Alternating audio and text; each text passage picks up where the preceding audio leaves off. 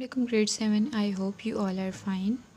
Today we will discuss Islamiyat students आज हम देखेंगे अपने chapter number four good conduct and character का long question number two long question number two is as Muslims how are we instructed to spend our wealth यानी मुसलमान होने के नाते हमें अपनी दौलत को कैसे इस्तेमाल करना है? Answer Allah tells us in Quran how to spend our wealth others have a share in it too and it is our duty to give it to them and not to use only for ourselves and spend lavishly. As Muslims, we are instructed to spend on the needs of our family, relatives, orphans, and the needy around us. However, we are told not to waste or overspend our wealth so that we may not become a liability for others.